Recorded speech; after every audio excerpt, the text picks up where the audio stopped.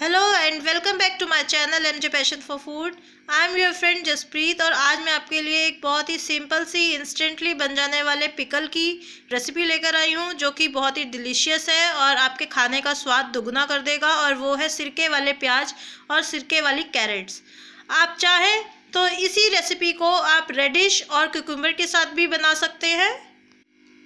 इसे आप खाने के साथ एज अ सैलेड तो सर्व कर ही सकते हैं। मगर साथ ही साथ इसे आप फ्रेंकी रोल सैंडविचेस में डाल के बनाएँगे तो उनका स्वाद बहुत ही बढ़ जाएगा। तो आइए देखते हैं इसे बनाने की रेसिपी क्या है और उसमें हमने क्या क्या इंग्रेडिएंट्स यूज़ किए हैं। अब सबसे पहले एक पतीले में हम एक गिलास पानी डाल देंगे और इसे गर्म करने के लिए रख देंगे हम। और इसमें डाल देंगे हम एक बेलीफ हाफ़ करके, और साथ में डाल देंगे क्रश करके। चार क्लोव्स डाले हैं और आठ, दस ब्लैक पेपर कॉर्नस हमने क्रश करके डाल दिए हैं। क्रश करने से फ्लेवर बहुत ही अच्छा आएगा इनका, अच्छे से पानी में। और इसमें साथ में नमक डाल देंगे हम एक चम्मच। और अब पानी देखिए, हमारा बॉयल होने लग गया है। इसको बिल्कुल सिम पे बॉयल करना है ताकि जो हमने इसमें खड़े मसाले डाले हैं, उनका फ्लेवर इसमें अच्छे से पानी में जाए। और अब इस टाइम पर हम इसमें साथ में डाल देंगे एक ग्लास विनेगर का। जितनी क्वांटिटी में हम पानी लेंगे, उतनी ही क्वांटिटी में हमने विनेगर लेना है और इसका एक मिक्स बना लेंगे हम।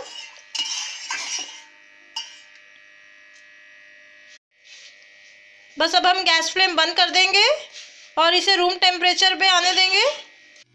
इस पिकल को बनाने के लिए हमने लिए हैं कैरेट्स दो जिसे मैंने लंबे जूलियंस में कट कर लिया है। और साथ में हमने लिए हैं अनियंस जिसको मैंने सेमी सर्कल्स में कट कर लिया है। अब इसे एक ग्लास जार में हम भर लेंगे अनियंस को। और इसी तरह दूसरे जार में हम कैरेट्स भी अच्छे से फिल कर लेंगे। जो हमने वाटर एंड विनेगर और मसालों का हमने मिक्सचर बनाया था, अब इन, इसे हम इन बॉटल्स में भर देंगे।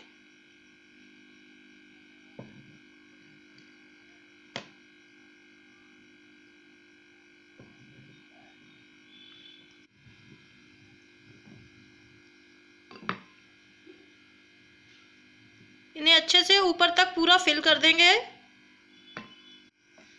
देखिए, इस तरह से हमने बॉटल्स को पूरा भर दिया है। अब लिड बंद कर कर हम इसे अच्छे से एक बारी शेक कर लेंगे और हमारा जो पिकल है, वो बनकर तैयार हो चुका है। सिंपल सा। इसको एक दिन के लिए हम रखेंगे। नेक्स्ट डे से आप इसे खाना स्टार्ट कर सकते हैं और इसको रेफ्रिजरेटर में रखिएगा तो उससे ये चार से पाँच दिन इजीली आपका स्टोर हो जाएगा। आपके साथ एक बहुत simple but useful recipe share कर रही हूँ and that is pickle green chillies अपनी ज़्यादातर रेसिपीज़ में मैं इसे ही यूज़ करती हूँ। इसे बनाने के लिए हमें चाहिए green chillies salt and vinegar in green chillies को मैंने वॉश करके सुखा लिया है। अब इसे सेंटर से हम कट लगाएँगे और इसको एक जार में हम डाल देंगे सबको। इस तरह से इसे हम एज अ पिकल भी यूज़ कर सकते हैं और किसी भी रेसिपी में डाल सकते हैं। रेसिपी का टेस्ट बहुत अच्छा हो जाता है जब मुँह में खट्टी खट्टी ग्रीन चिलीज आती हैं। अब इसमें हम सॉल्ट डालेंगे दो चम्मच। लास्टली इसमें हाफ़ कप विनेगर ऐड कर देंगे हम। जार का आप ढक्कन बंद कर देंगे और इसको एक बार अच्छे से हम शेक कर लेंगे। हमारा पिकल ग्रीन चिली तैयार हो चुका है। अगर आप इसे रेफ्रिजरेटर में रखेंगे तो इजीली ये जो ग्रीन चिलीज़ हैं, एक महीने तक प्रिजर्व हो जाएँगी। बस आप रोज़ इसे अच्छे से एक बारी शेक कर दीजिएगा। इस तरह से। दो दिन के बाद हमारी ग्रीन चिलीज़ इस तरह की हो जाएँगी। आप इसे जैसे चाहें यूज़ करें।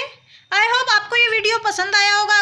पसंद आया है तो प्लीज़ लाइक ज़रूर कीजिएगा और इसे ज़्यादा से ज़्यादा शेयर कीजिए अपने फ्रेंड्स और रिलेटिव्स के साथ। और जिन लोगों ने मेरा चैनल सब्सक्राइब नहीं किया प्लीज़ इसे सब्सक्राइब कीजिए। और मैं आपके पास लौटूँगी एक नई वीडियो और एक नई रेसिपी के साथ। Till then bye